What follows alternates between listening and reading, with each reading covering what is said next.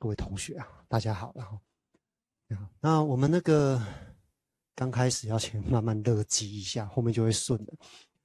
呃，遗嘱信托了哈，现在其实最近哦，这个信托这个东西还蛮热门的，真的蛮热门。遗嘱呢也很热门哦。我这三年哦，这三年做的遗嘱，就是要怎么讲呢？我反正就很多，跟之前比起来，因为这三年是。疫情的关系，哦，那以前早期在做遗嘱的时候，可能都是一些相对年纪比较大的。那最近这几年呢，大概有些四十几、五十几也来做遗嘱，我就正值壮年。那时候就说，哎，为什么要这个时候来做遗嘱？他说也是怕疫情，我就突然间就走了。等一下会讲到一个案例哦，他那个真的是很恐怖，他就是因为疫情的关系，然后人在美国啊，医生。哦，因为疫情想要逃回台湾来，我就从美国那边就是辞职。辞职完之后呢，大家同事就聚餐嘛，聚餐就中了，就中了那个新冠，就真的就走了。哦，那后续衍生的问题就是台湾这边的一些遗产的问题，哦，一些遗产的问题。那我们呢，哈，来开始慢慢的往下。遗嘱信托啊，它当然就是，嗯，好，哦，它牵扯到的就是我们的遗嘱加。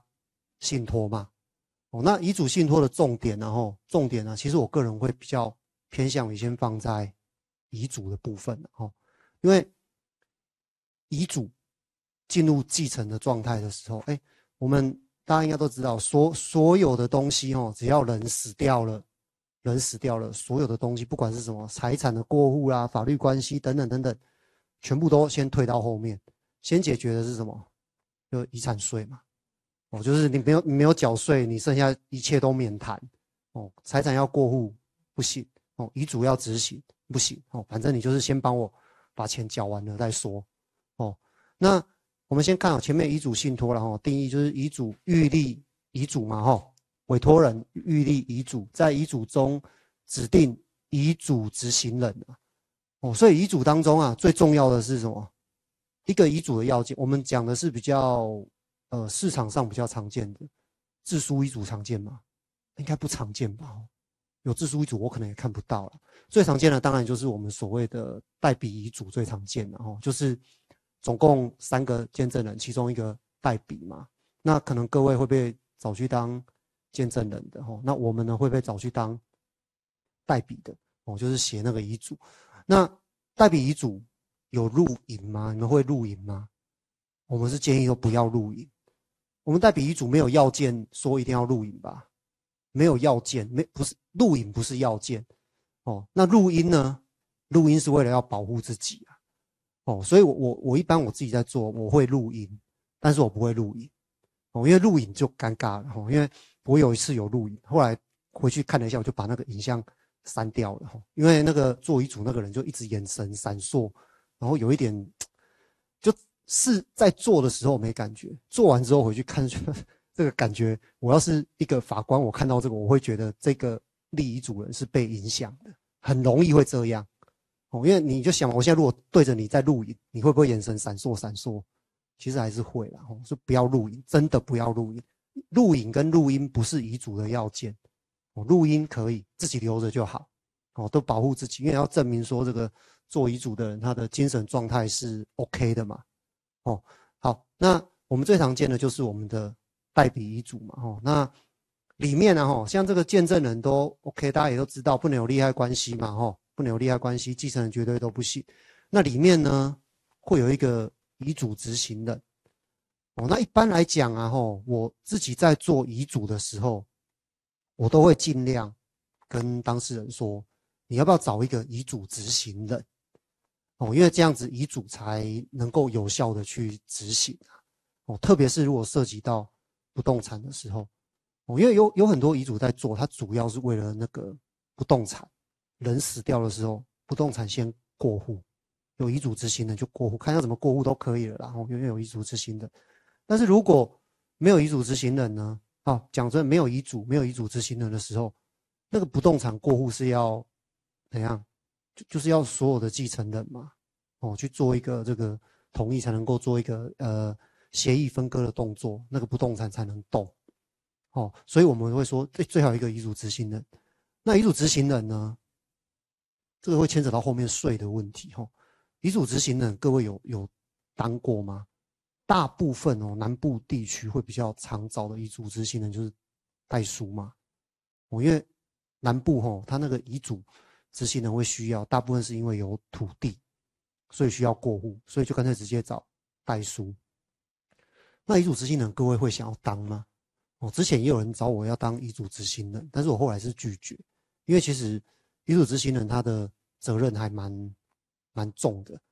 哦，因为各位我们后面会提到那个遗产，我们会讲遗产及赠与税啊，但是因为赠与跟我们的这个遗嘱信托没关系，遗赠算算是赠与吗？那不算啊，它算遗产，它一样先处理遗产的问题。遗嘱执行人，因为他在我们的遗产赠与税法的第七条，他是第一顺位的纳税义务人，知道知道吧？第一顺位哦哦，所以如果遗产有短漏报，要处罚谁？处处罚处对对对哦，所以 Google 一下那个那个破产管理人还是遗嘱执行人，不是台中有律师被罚吗？哦，那个就是因为他是纳税义务人哦，当当然遗嘱执行人他是第一顺位。如果到遗产管理人，那是第三顺位，哦。但是当你当遗产管理人的时候，实际上你也等于是第一顺位的纳税义务人了，因为一定前面都没有了嘛，哦。所以遗嘱执行人，你你要考虑的是要当可以哦，要收费用，当然当然要收。那要考虑的是后续的这个纳税义务的问题。我们之前后面有遇到，我们后面会再讲哦，就是。问你们哦，就这个问题而已哈。遗嘱执行人，你是遗嘱执行人，那遗嘱里面有其他的继承人，那请问一下，纳税义务人到底是谁？遗嘱执行人还是继承人？还遗嘱执行人哦。哦，但是一般实务上在做的时候，遗嘱执行人你会去帮人家报遗产税吗？不一定哦，哦不一定哦，有可能是继承人自己去报。嘿，继承人啊，报错了怎么办？报报错了，第一顺位是遗嘱执行人呢，我没有遇到过。实务上以前在国税局时候是没遇到过，但是理论上在看的时候，他应该是要处罚你第一顺位啊。哦，第一顺位应该是这样子。哦，那里面那个纳税义务人里面还有卡一个东西，第一顺位是遗嘱执行人嘛，第二顺位是继承人及受遗赠人。哦，受遗赠，我想想有点跳开那个遗嘱。好，那现在问题点来了是，如果今天。没有继承人，没有继承人。哦，如果有遗嘱执行人，一定就是遗嘱执行人的嘛。没有遗嘱执行人，没有继承人，只有受遗赠人，只有受遗赠人。哦的时候，受遗赠人可不可以去申报遗产税？知道在讲什么吗？哦，因为他，我跟你讲，因为这个也很尴尬哦。实务上有认为说这样不行，因为遗嘱定完之后。没有遗嘱执行人，没有继承人，有受遗赠人哦。要帮我定遗嘱干嘛？对不对？一定有受遗赠人，然后，我干嘛定遗嘱？哦啊，这时候都没有的时候，他会直接跳到遗产管理人。遗产管理人啊，所以受遗赠人有没有办法自己去申报？好像没办法，我没有遇到过。因为之前有一个人要问我，哦，在问的时候，他说：“那我可不可以？”因为我们刚一直卡在一个问题，对不对？遗嘱你没有缴钱，你没有缴税，你其他通通免谈。所以当遗嘱做出来之后，最积极要缴钱的是谁？一定是受遗赠人，一定是受遗赠人。他希望赶快报税，赶快缴完，全部都弄完之后，我就可以开始拿到我的受遗赠的标的物了。所以他希望我去缴，我去缴钱，我去申报都没有问题。啊，问题是国税局不收啊，你报我不收啊。吼，后面会再提到有有些申报的问题还蛮蛮有趣的，然后。好，那遗嘱生效的时候，由遗嘱执行人来执行遗嘱的内容。哦，嗯，看一下，灯是这个吗？好，随便。第三号，生第二点嘛，哈，处理遗产的内容、继承的相关事务，就是申报遗产税哦，并将遗产完纳遗产税后，完纳遗产税后再交付信托。哦，所以其实前阶段是先处理遗产，对不对？哦，第一阶段我们先处理遗产，把遗产处理完之后呢，才能够把遗嘱里面所定要交付信托的财产交付给受托人，哦，受托人。那交付给受托人之后，就就相对单纯了，哦，就开始走所谓的信托关系去处理了，哦，大概走信托关系去处理了。好，那管理由委由受托人依遗嘱内容管理信托财产，这个也没有问题，达到照顾后面的这个受益人，哦，避免不必要的纷争。上次因为之前在别的地方讲过类似的议题，哦，就有一个同学律师在问，诶，那这部分要缴赠与税吗？不用哦，就不用了，因为这部分我们是在遗产税嘛，先先走遗产税，所以没有赠与税。那这边的东西当然就是公证遗嘱正本一份，然后遗嘱信托加信托关系的部分，公证遗嘱哦也是一个问题。呃，以我们自己来讲哦，违反特留份，违反特留份的遗嘱可不可以做？可以吗？吼，同学有时候问我问题的时候。我就想说，嗯，我做过的遗嘱没有一件没有违反特留份的，每一件都违反特留份啊。他说就是违反特留份才会特别来做遗嘱嘛。好啊，只是说差在说，你如果要走公证遗嘱的话，你你就不能违反特留份哦，因为你你要公证的时候，你要拿着里面有一个要件，你去找公证人的时候，他会要求你提供财产清册啦。如果财产清册明显的已经违反特留份的时候，公证人他不会帮你公证。哦有有有有人去这样做过吗？被打枪的有吗？吼，我不知道，因为我也我没有做过嘛。吼，因为遗嘱来找我，我就直接做了，我不会再叫他去公证。哦，因为原则上我们律师这边做是就 OK 了啦。好，那遗嘱信托呢？哈，遗嘱信托是以委托人死亡，委托人通常就是不是通常，他一定就是啊，哈，他一定就是那个被继承人嘛。哦，死掉的那一个，死亡为停止条件的他意信托，这也是当然的嘛，对不对？人都死掉了，你还想定自意信托，会不会可怜没代记？哦，那本质上呢，就是属于什么遗产继承。所以要跟大家讲的是，所以遗产继承是报遗产税哦，它跟赠与税是会对立的，它不可能会有在赠与税的问题哦，没有在赠与税的问题。所以呢，要列入委托人的遗产来课征遗产税哦，这个是当然的了哈。好，那遗嘱信托这个是法务部的定义，然后二三第二点第三行。遗嘱信托属于单独行为，哈，遗嘱人生订立契约，以其死亡为条件或死期而设立的信托，哈，非属遗嘱信托，哈，死亡为条件，这是什么？这这是已经定好了，这是已经先你先定了一个定了一个信托契约。遗嘱信托是你直接在遗嘱里面就把信托都用好了啊，这个讲的是我先定了一个信托契约嘛。哦，信托契约，那可能我另外要附了一个条件，说，哎，那我死亡的时候，我的财产遗产有一部分在挹注到这个信托里面，哦，是变这个意思，哦，那这个东西就不是我们的遗嘱信托了，然后，好，那我们刚刚前面在讲，哦，因为遗嘱信托它本质上第一步要处理的还是遗产的问题，哦，那也许各位有那个需要。要帮客人哦，或委托人去定一个遗嘱信托哦。那在规划的时候，你当然呃最基本的，我觉得重点还是在遗产税啦哦，因为因为你为什么要定遗嘱？为什么要事前做事前做一些规划？当然就是想省钱嘛哦，一定是想省钱然后那信托呢？信托的话，信托最大的实益应该是在。赠与税那边，在赠与税嘛，哦，在赠与税那边，而且呢，信托它原则上本金呐，我们一百一百年六月五号那个股票孳息他益信托，大家一定都听过，对不对？哦，会有那种规划，是因为原则上在规划信托这个东西的时候，本金呐，信托的本金都不要，都原则上要自益，不要他益。哦，因为那个税捐利益比较没有，要知悉知悉，他益才会有所谓的税捐利益产生。哦，那因为知悉，他益的时候，你会没办法计算那个赠与的额度是多少，所以你会用邮局一年期定存利率去算，所以才会有税捐的利益，对吗？哈，所以股票知悉他益就是利用这种方式。那在遗嘱信托的时候。比较不会考虑这种情形的，因为我们刚刚讲过嘛，他他不是课赠与税嘛，哦，他不是课赠与税，他是走遗遗产税，哦，属遗产税。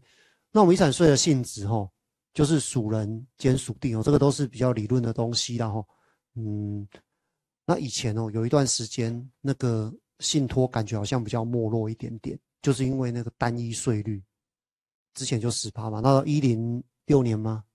五月十一，哈，因为我一个有一个狼 K，他就是刚好过了几天死掉，就变累进税率了嘛，哈。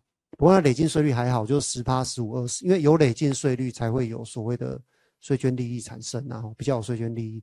那基基本的，然后因为有时候人家在问的时候，一些基本的东西应该要赶快回答。我们的遗产税它累进税率是多少？就五千嘛，五千跟一亿嘛，吼，就是那个十八、十五、二十这样上去。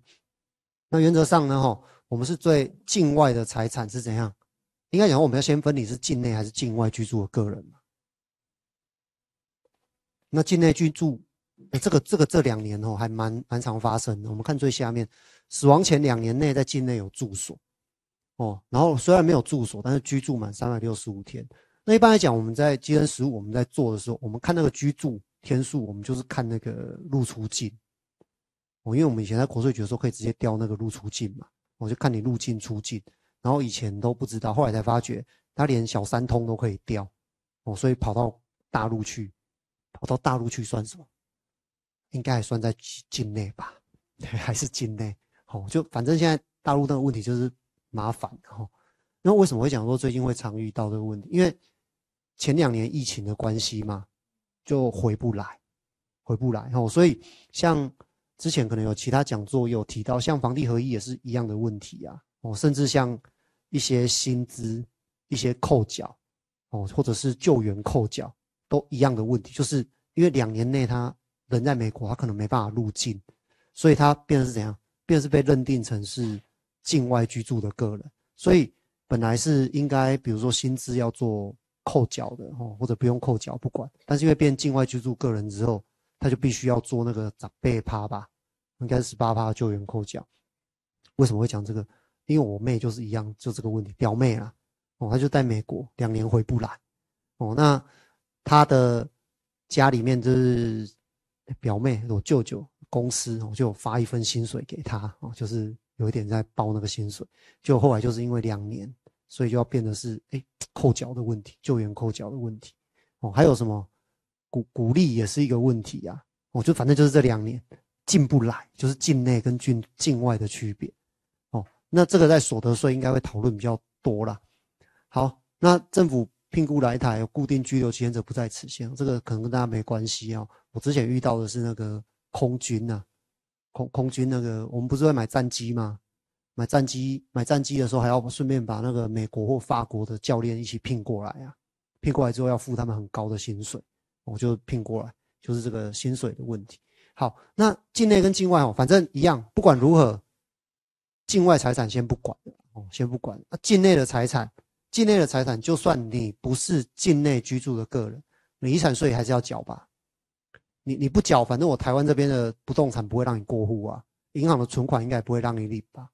哦，你一定要拿到基恩机关给你的完税或免税证明。哦，那我们刚刚讲那个例子就是人在美国啊，我人在美国，他那个也是曲折离奇，他就是呃人在美国，妈妈哦妈妈人在美国，然后就因为疫情的关系。死掉了，哦，然后留下一个女儿，女儿也是美国籍，哦，他们都完全就超过两年了，哦，所以台湾这边等于是都没有住所。然后后来呢，因为妈妈死掉那位妈妈哦，在我们屏东那边有一块地，一块很大很大的地，公告限制，印象中好像是九千多万，公告限制九千多万。那现在那个死掉的那个那个妈妈的爸爸哦，就是阿公啊，哦，阿公。就想要把这块地拿走，哦就是拿走。那因为阿公就说，因为这块地实际上是是他买的，哦，那反正不管怎么样，然后不管怎么样，那时候就说，反正就是要怎样，先报遗产税，先报遗产税啊。人是死了两年哦，人都死了，隔两年才经由类似像那个资讯交换，从美国那边通报来说，这个人已经死掉了，然后国税局才发单要缴遗产税。那遗产税申报期间是六个月嘛，延长三个月就九个月嘛。我像我自己在做遗产税申报，反正第一件事一收到案件就是先先展延嘛，先先展延三个月再说。那理由就不外乎两个，一个就是财产复杂啊，其实也没什么财产，不管，反正就是先先先展言啊。如果另外你觉得这理由好像说不过去，你就第二个理由嘛，就是。抛弃继承旷日费时，我就就反正你就乱写，乱写不能这么讲哦。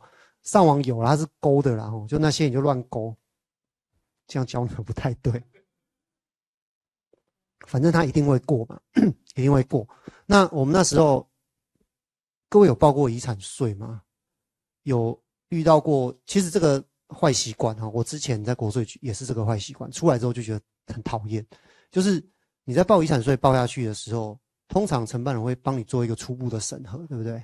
初步审核，那他如果觉得有欠缺的哪些东西，他会叫你拿回去，他会不收件。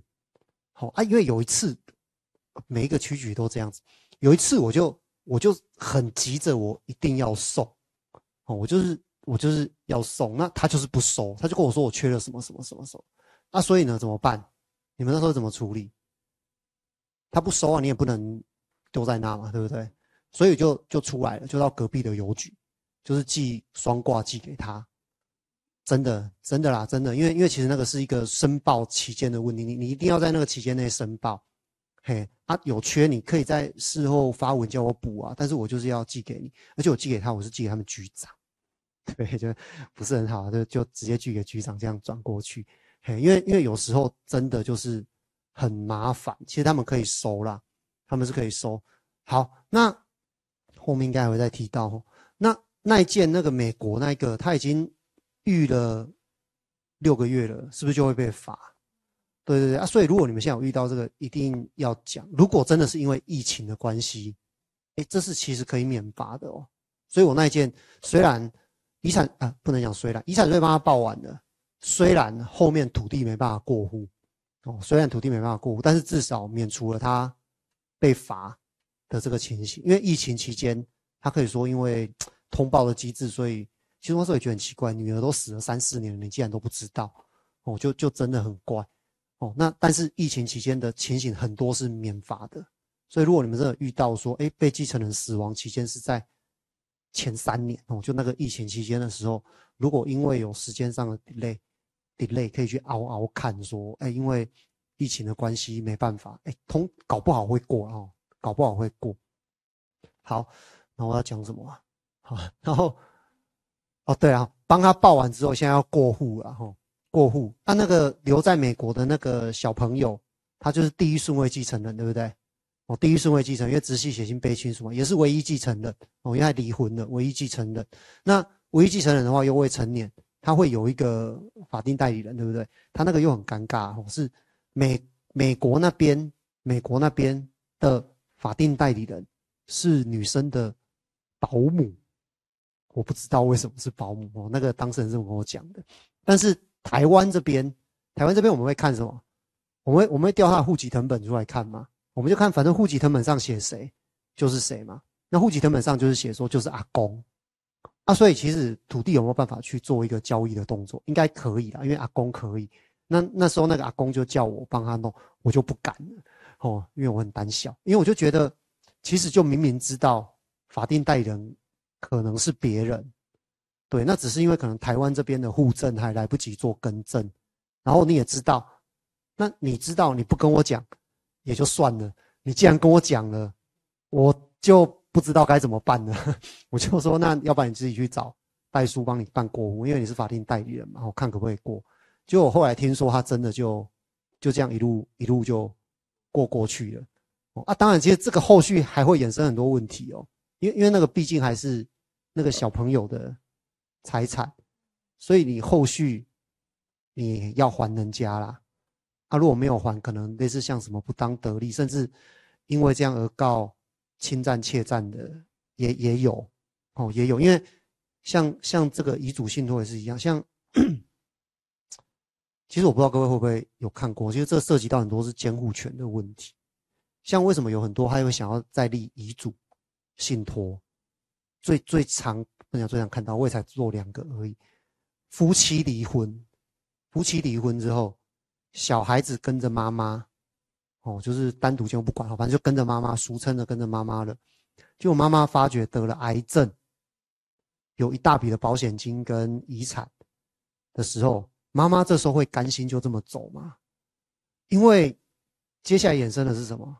妈妈如果走了，小孩的继承是小孩继承都没问题，问题是监护权会回到那个爸爸前夫身上，所以妈妈就不甘心，就非常的不甘心。那现在就有两种方法可以出，一个就是就是遗嘱信托嘛，我就直接遗嘱，然后我找一个委托人，哦，那财产就是到那个委托人那，那到小孩成年，现在十八岁嘛，成年之后再给小孩，哦，如果小孩自己没办法，还要硬硬要给爸爸，那那就没办法了，哦，那就是命了。那另外一个是什么？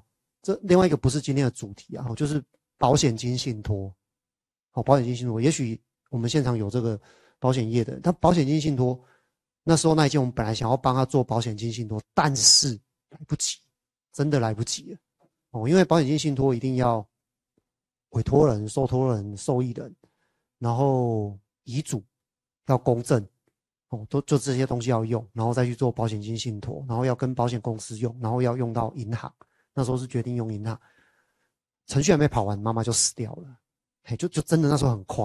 我想问，为什么不早一点来处理呢？好，那因为因为现在离婚的真的蛮多的，然后遇到这个问题的也有，所以要要注意啊。像这种情形，遗嘱信托也可以透过立遗嘱的方式再找一个委托人，这样至少财产就是不要让不要让那个财产直接到未成年子女名下了，要不然就会变成是前夫或前妻。在托管，然后在管理，哦，那同学说，哎，那反正以后还可以要回来啊，我就不当得利我什么，要不回来的，然后就要不回来的，真的是要不回来。好，那我们这个死亡前两年的赠与，吼，这个也是一样啊，这个也是涉涉及到遗产税的问题，吼，因为我们一般来讲在做遗嘱信托的时候，遗嘱信托的时候会先帮他规划他的遗产税嘛，我们大概要看一下，那这个其实在。新闻大家应该都有看过，死亡前两年哦，放弃中华民国国籍的还是要课税，所以放弃国籍这个没有用哦，这是废话，不用讲。那死亡前两年的赠与要并同到课征遗产税，死亡前两年的赠与会赠与给配偶或者是法定的继承人哦，代位继承人及其及继承人的配偶的部分，两年内赠与要算回去哦，这可能大家都都知道哦。然后呢，一般来讲。赠与人至少就要，反正就撑两年嘛，我就撑过就没事了。那如果你是受，他这边只有写什么？第二点哦，因病同遗产课征遗产税，对不对？他就讲说课征遗产税啊，但是对谁课？对纳税义务人。纳税义务人是谁？就是我们刚刚讲的嘛，吼，就是第二顺位好了，通常哦，就是。被继承人或受遗赠人，那问题是，他没有说要对 受赠的配偶课啊，所以这时候受赠的会怎样？受赠的这些两年前受赠的这些人会抛弃继承，好啊，所以如果你你你的客人就是就是这个受赠人，你就跟他说，那你就抛弃继承好了，哦，因为抛弃继承那个遗产税就跟你没关系，对吗？法法律明文规定啊，就是。继承人是纳税义务人，那我抛弃继承了，我是从继承开始我就不是继承人，所以你要缴多少税，你要算多少回去，算多少回去并同遗产课征遗产税，那跟我都没关系了哦，反正我就是抛弃继承，啊，所以就衍生什么问题？衍生那个剩下继承的那个人就很衰，因为钱他拿不回来，但是他是纳税义务人，所以你自己要去算一下哦，如果情况不对的话，就跟着抛弃吧，哦，就只能这样子。哦，就只能这样，可是这样就很尴尬，因为这边是税法的问题，这边是税法问题。但是如果有涉及到民法的遗产的归扣那些问题，你如果抛弃了，你那些权利也没有了。哦，所以你要自己去把不会门框嘛，看哪个会比较有利。哦，真的这个就不一定了。好，那那个遗产在算的时候，像我们在在做遗嘱信托的时候，也会去看他的遗产清册嘛。我们在做遗嘱的时候，一定应该都会请纳税义务人调遗产清册吧？哦，基本上会会会会调然后那遗产清册国税局调，原则上会出现的大概就是不动产一定会有嘛。哦，不动产一定会有，然后那个动产会调出来嘛？动产大概就有车子会调得出来哦，汽车，然后跟股票，大概就这样子哦，大概就这样子。然后还有一些金融资产的话，就可能要另外调哦。国税哎，现在遗产税它是可以那个，然后可以合并一起调，所以在价值的计算其实还蛮蛮蛮重要的哦，因为它牵扯到说到底。实际上要缴多少遗产税？哦，所以以被继承人死亡日的时价，哦，那土地呢？公告限值这个没有问题嘛？房屋评定价值、上市柜呢？收盘价，然后还有净值，哦，就是其他的话就是净值，公司的净值。那像我自己在申报遗产税的时候，哦，都会跟当事人说，报出去，然后报出去之后，因为跟他说，一一定会被补税，一定会被调高。哦，如果你有公司啊，一定会被调高。为什么？因为那个净值一定会是错的。国税局给你的那个财产清册的未上市贵公司的股票，哦，或者是独资合伙那个净值，百分之百绝对是错的。哦，所以怎么办？没关系，就报错的嘛。哦，所以每次都报错的，然后再让他调整。哦，再让他调整，这很正常。哦，重点是越早报越好。哦，越早报让他开始审，因为。报进去之后，他在审核期间，只要你还在申报期间内，都可以做更正，哦，所以我才会觉得我自己在报遗产税，我都是越早越早报进去越好，然后越早报进去越好，因为主要是那个不动产的部分，我们后面也会提到有一些像股东往来，哦，如果如果跟公司之间有一些借款关系，那那个都不是继承人能知道的东西，哦，那都不是继承人知道的东西，都是。被不能说被抓到，因为我就是不知道，我真的不知道，不是我的错啊。但是真的很容易发生，所以有时候要注意一下。有时候如果你你在帮呃客人在申报那些东西的时候，你有看到，有提醒他，有提醒他，他以后出事了，虽然不会感激你哦，就出事了嘛吼，但是至少你有跟他提过，他会觉得比较那个一点，比较好一点。好。那受益证人、被继人已无前述亲属关系时不并入，哈，这个可能就是涉及到像收养的问题，哈，或者是怎样，亲属确认亲属关系不存在，这都比较特例了。然后，像像牵扯到什么，哎，那个什么非婚生子女什么，就是那个亲属家属亲属关系到底在不在，那个东西，哦，你放心啊，国税局都只会形式上审查，也就是说，如果你要做出另一种主张，你你一定要透过法院。哦，你一定要透过法院。哎，例如说，你觉得某个人也是继承人，或者某个人不是继承人，反正就是要透过法院的。哦，国税局不会去帮你审核那个身份关系的问题。哦，身份关系的问题哦。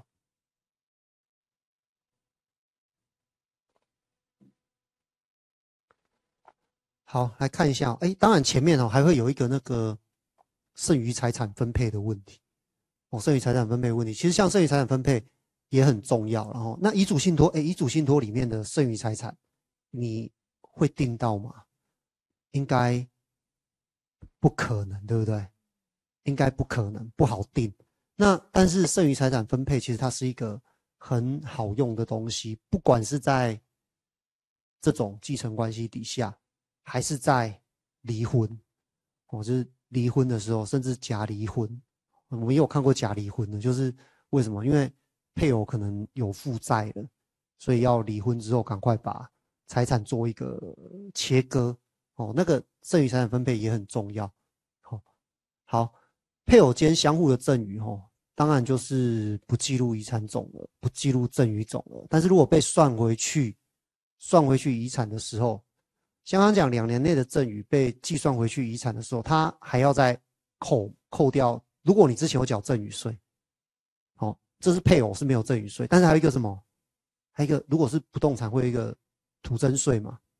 好，所以它主要会在追加回来的，就是扣掉你之前如果已经缴过赠与税，你之前缴过土增税的话，我可以帮你扣掉，哦，扣掉。所以你不要想说，哎，我我我受赠了财产之后，然后呢，我赶快抛弃继承，那后面的遗产跟我没关，哦，那但是你还是要看一下，如果当时的土增税有缴了不少，你你还是可以去参与继承，知道那个意思吗？吼，就是你要考虑到第一个是，你这笔遗产你抛弃继承之后，你的遗产税要缴多少？哦，你如果没有抛弃的话，你之前受赠的时候有没有缴过？土增税跟赠与税啊，但是土增税、赠与税不是受赠人缴的吧？哦，是是那个赠与人缴的啊。但是你还是要去看，如果那些钱够去 cover 那些遗产税的时候，你你可能可以考虑说不要去做一个抛弃继承的动作。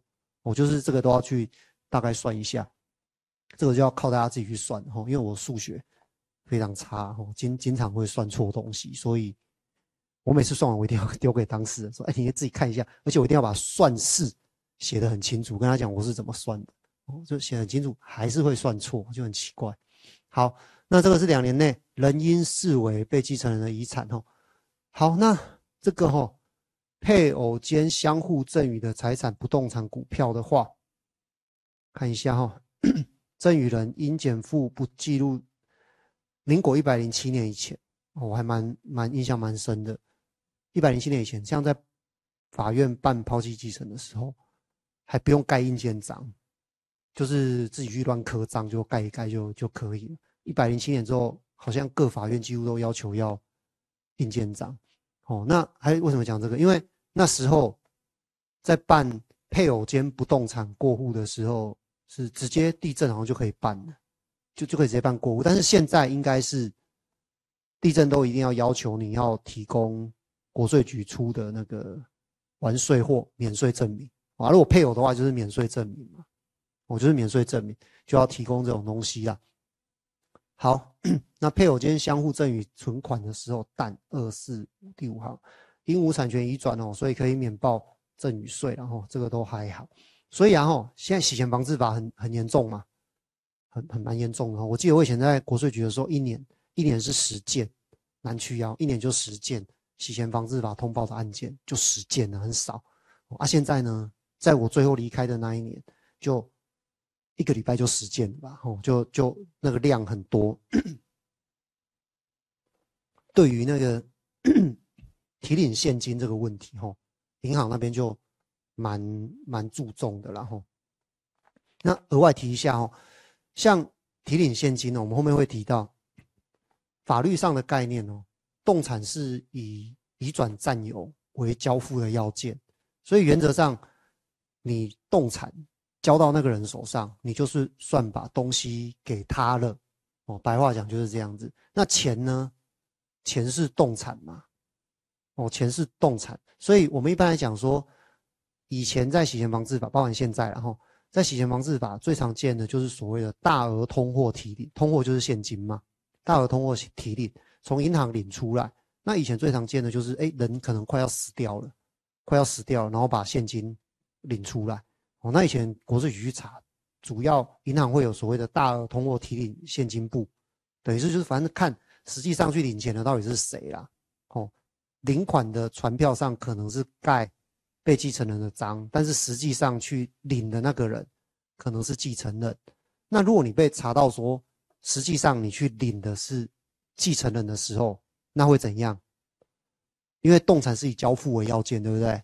那你既然现金动产交付到你继承人的手上了，我们就认为说，这个现金已经给继承人了，已经给继承人了啊。原因是什么？原因你继承人你要自己讲啊。那你讲不出来就是什么？就是赠与。那就是赠与的话，反正就是两年内他就会把它算回去，算回去遗产。哦，所以后面慢慢的大家都知道这个情形会怎样，会推着轮椅把被继承人推去 亲自领钱嘛？哦，就是要让他在那边亲自领钱。那我们之前有遇到一个，那个是非常非常例外的案例啊。吼，他是推着父亲去银行亲自领钱，钱也是交到那个父亲的手上，抱着轮椅在推出来。他很有那个 sense，他知道不能交给小孩子。然后那时候想啊，可能没没救了。那那时候就调那个监视器，就看到银行除了照里面，他也会照外面嘛。我照外面的时候就看到说他们上了一台计程车，上了计程车的时候就看到爸爸把钱放到儿子手上，就这个动作，你知道那意思吗？我也是觉得，哎，就太夸张了哈，有点天兵啊。不过确实他就说这样，因为就转交了，所以他就认为说，哎，你看已经转过去啊，放放到儿子身上之后就上计程车啦。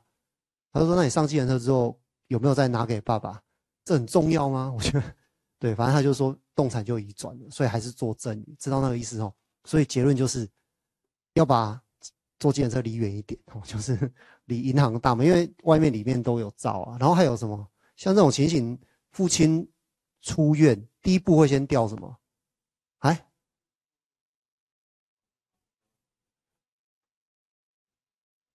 哎，没有缴赠与税，因为他那是两年内就死掉了啊。但是因为查到那个东西，就是把它算回去遗产。嘿，其实以前蛮多蛮好玩的，还有跟那个去协同开那个保险箱，哦，那个也蛮好玩的。对，那个都要录影哦。然后那开保险箱就有点像开盲盒那种感觉嘛。对啊，好，这是废话啦。然后前提啦哦，前提是什么？那个如果你真的要推着你的长辈到银行去领钱哦，如果长辈是住院的状态，记得要帮他请假。我也后来才知道，原来住院还要请假这一回事。哦，就是。你住院如果没请假，你直接推着爸爸出来的时候，因为国税局我们那时候第一件事遇到这个，都会先去发函问那个医院，说，哎，这段期间内，哦，这个或者哪一天，那个某某某是不是在住院啊？因为医医院不知道你请假嘛，所以医院会说，我这段期间内都在住院啊，啊，既然都在住院，就不可能，我们就说那就不可能是你领的钱，所以就会给你算入遗产，哦，知道那个意思哦，所以所以要要请假，哦，啊，医院会不会准？我我不知道了哈，因为我也不知道医院请假跟准准假的标准在哪里啊。好，那个那个是一个蛮特别的案例啊。其实我觉得那个是有点问题然啊。好，那遗产税的申报期限呢？哈，死亡之日起哦，六个月内要办理申报哦，这个没有问题啊。然后基金机关或利害关系人可以申请法院指定遗产管理人。所以像我们刚讲那个情形，没有遗嘱执行人，也没有继承人，然后呢，我是受遗赠人。那我又不能报遗产税的时候怎么办？你你就要赶快去，你是利害关系的，你就要去申请一个遗产管理人，哦，反正就是要让他报报税，哦，要报税啊。这时候你要怎么办？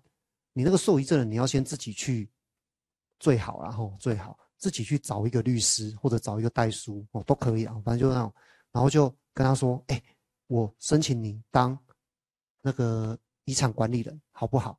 哦，因为你要赶快帮我报税，然后财产什么资料我都有了，都先给你。你看，你去报税绝对没有问题，因为财产比较多，负债比较少哦，所以你可以拿到遗产管理人的报酬。然后这个遗产管理人，然后律师或代书一定会说好。然后呢，你这个受益证人再赶快去法院申请，法院指定遗产管理人，然后建议由那个律师，哦，就就类似这样子啊，国税局都是这样啊。哦因为我做了好多间国税局的那个遗产管理人，但是我我做的都是不好的，都是不好，都是那个欠税欠了很多都没有钱，然后他说那为什么要遗产管理人？就是因为欠很多，所以他那个税单，如果继承人都抛弃继承的时候，他那个税单没人送。你知道像那个税单，它有一个很很重要的问题，就是送达的问题。送达的问题，取证哦，就是送达。你你你行政处分税单，你没送达到人家应受送达人身上，你这个税单就没办法生效。啊，你税单送达生效之后，以后欠税那个是欠税的问题嘛？我就欠在那边，我没差，但是我不能让我的处分卡在那边动不了啊。所以我的角色就是收税单的那一个，我就就是帮国税局收，他们找我，我就会帮他们收啊。所以那时候我们那个助理啊，就。有有一段时间，他我觉得他想要离职，你知道吗？他就是一直收到我的税单，说哇，怎么曾律师，什么遗产管理人，什么什么，然后什么破产管理人、清算人，然后欠税五十万、六十万、七十万、一百万、两百万，他就说惨了，我们这个事务所可能要倒掉了，然 后他想要离职。我说没有啦，没有关系啊，那个是那个是没有问题的，然后反正就是欠税这样而已。好了，好，所以这个就是我们刚刚讲的那个。有没有那个纳税义务人？哦，一遗赠税法第六条，我刚刚讲第七条嘛，可能讲错了。第七条是那个纳税义务人的转换，哦，就是比如说像赠与的时候，那个应该是赠与人要缴赠与税嘛，例如然后结果受赠人赠与人死掉了，就变受赠人变纳税义务了。哦，这这边有那边有一个问题是什么？我不知道各位会不会遇到哈？我有之前遇到了一件哦，那件是很特别，它就是我们先讲那一件好了。它就是怎样？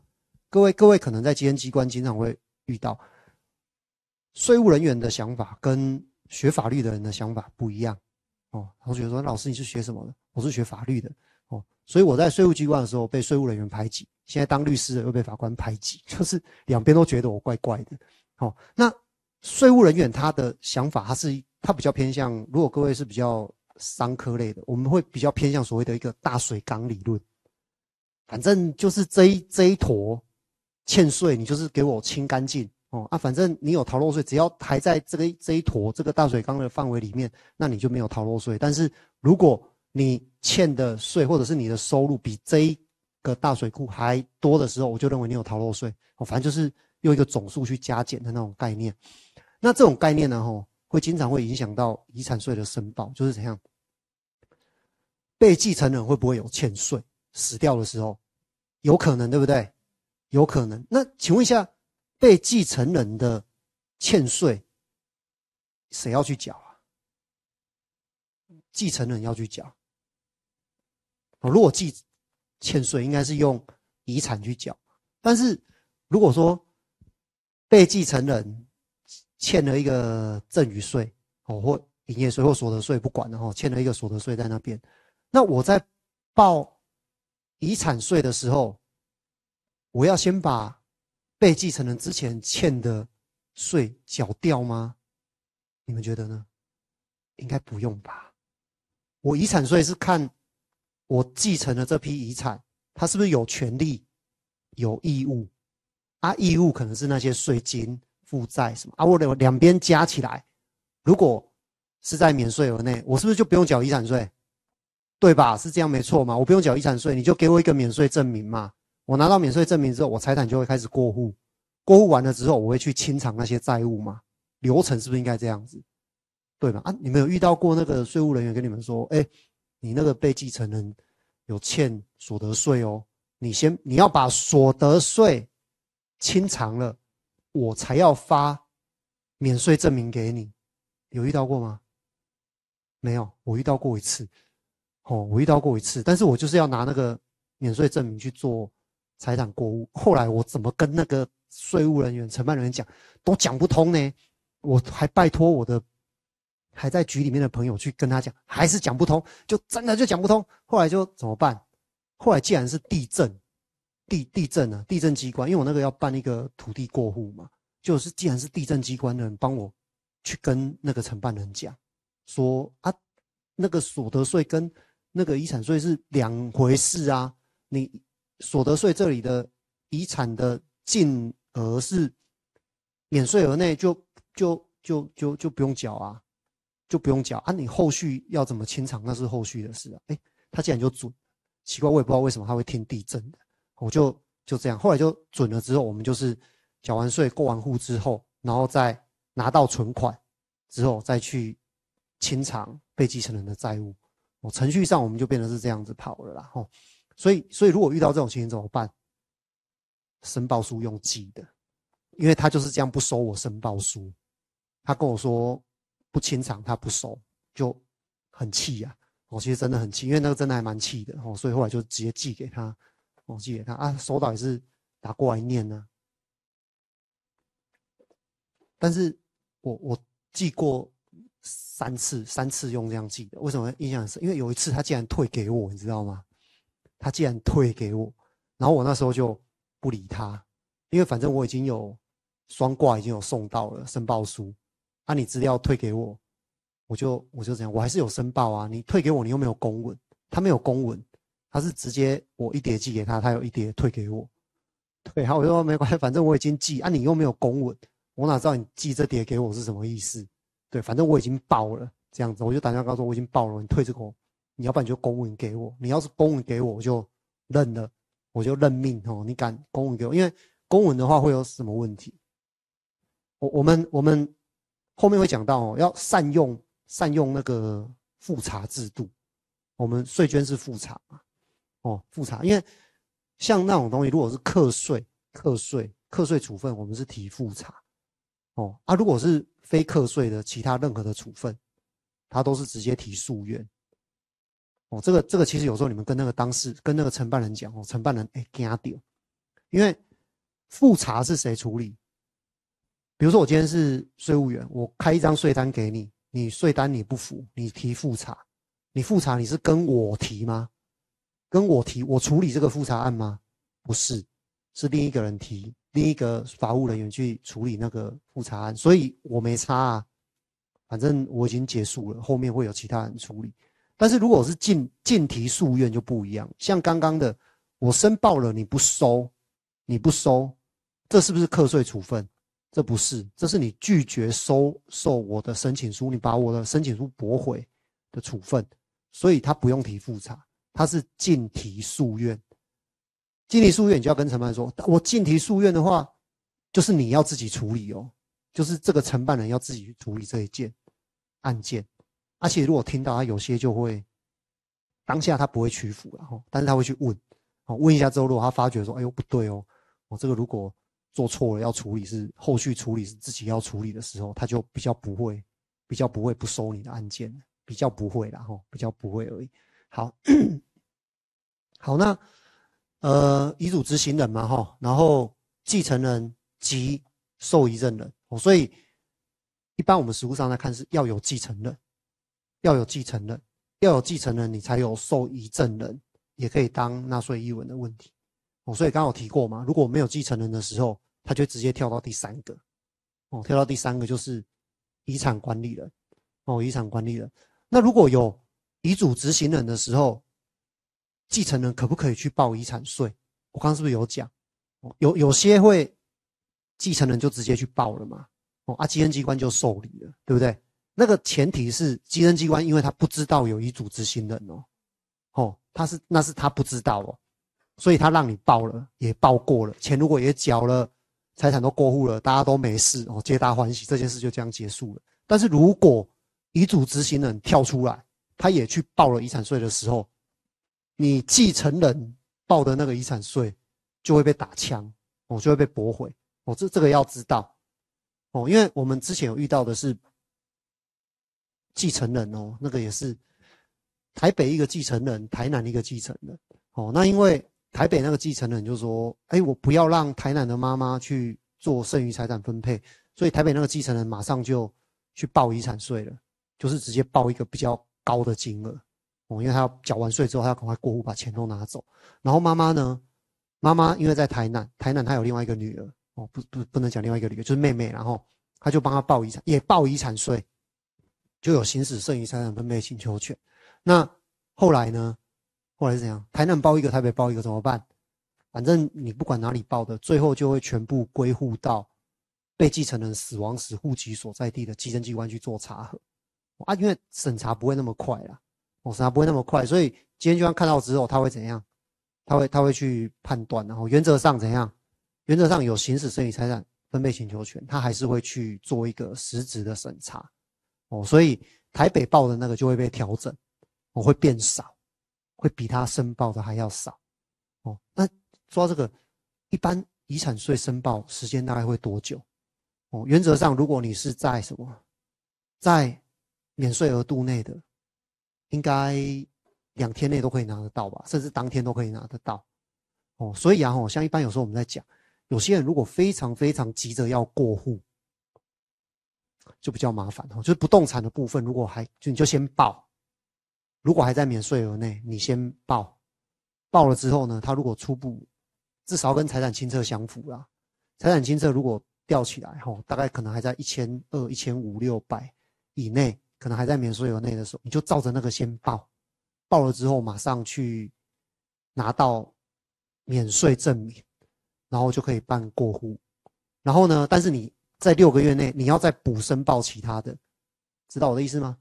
我觉得你你有很多你有很多财产，哦，但是在财产清册里面可能刚好这一堆还在免税额内，你就先报，报了之后拿到免税证明之后再补申报其他的，哦，这样子就可以尽快达到先过户的目的。然后，因为我我我这辈子报的第一份遗产税就是我阿嬷过世的时候遗产税啊，那时候我还在国税局工作，我那时候对就局内的人在办事还是不一样哦，就到屏东分局去，从地状到拿到我的免税证明，我那杯咖啡还没喝完，我就真的大概三分钟内就拿到了啊，其实那个真的可以很快。有时候在报的时候，像不动产啊什么，他们会要求你要什么？你要再提供权状嘛？权状啊、银本啊什么那些东西，其实那些东西都都有，你知道吗？所以有时候我我也是很难理解，为什么还要再再要求纳税义务人再提供哦？但是监机关的说法哈，包含我那时候说法是这样，因为资讯交换有一个时间落差哦，所以我们监机关的不一定准哦，所以请你去地震拿比较准。他说会整效哎，但是我。我也没有到地震拿，我是拿我以前的权状，你也是认啊，哦，所以就 也不知道他们在想什么哈啊。不过我现在是觉得就这样，反正时间紧迫，如果不行，就是用记的了哈，就用记的了。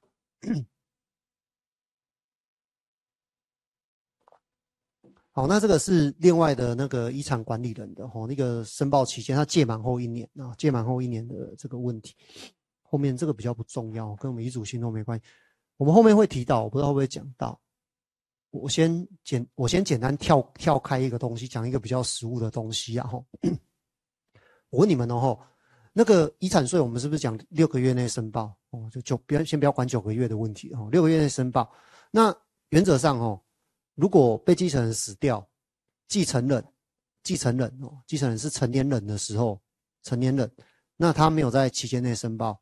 是不是要处罚？我们遗赠税法就两倍以下嘛，吼，对不对？吼，反反正就是一个处罚，两倍还是三倍，忘记了。那这时候处罚没问题，对不对？那有有时候我们后面会提到很多财产，有很多的财产，其实继承人也不一定知道，对不对？你真的不知道啊？那有些东西是知道，但是又很不想报啊，就是赌国税局不知道啊，哦，所以就不想报啊，那怎么办？我就。讲真的啦，我们以我们立场当然说，哎，要要诚实申报啊，对不对？哦，但是实际上要把风险降到最低的话，纵使要有些东西先不想申报的时候，你你补税不怕嘛？哦，被被你抓到了，补税就认了，就真的被抓到啊。但是那个处罚就有一点心痛了嘛，哦，因为你是多多付出了一笔罚款，所以然后像我们有时候会说，那原则上哦，你要不要？我们可以抛弃继承，对不对？你如果说爷爷过世，儿子女儿大部分都成年了，所以你儿子女儿这边都抛弃，先不要考虑那个继承人的免税额的问题。然后你你这边儿子辈都抛弃的话，抛弃完的话，继承人是不是就变得第三代孙子辈了嘛？哈啊，孙子辈如果未成年，好，现在问题就来了。如果继承人是未成年的时候，未成年人。然后呢，申报遗产税的时候有短漏报了，可不可以处罚？就可以吗？可以处罚谁？处罚那个未成年人嘛？未成年呢？如果说今天讲夸张一点的例子，爸爸妈妈这一辈第二代都抛弃完了，然后第三代的是一岁、两岁、三岁的，然后你税单开出来，纳税义务人吼。一岁的小孩就一个名字在那，然后处于被罚款，罚得下去吗？对啊，会很奇怪吧？处法定代理人吗？可是处罚可以罚法定代理人吗？那如果换个换个情形呢？哦，假设你们今天报遗产税，你们是委托一个律师处理，好，委托一个律师帮你报遗产税，结果律师报错了，律师报错，处罚谁？税监机关是处罚谁？还是处罚纳税义务人，他不会去处罚代理人，对不对？对啊，只是是说那个那个什么被处罚的，如果你是成年，你被处罚了，你再去找那个律师算账啊，因为你委托那个律师处理啊。那问题是法定代理人呢？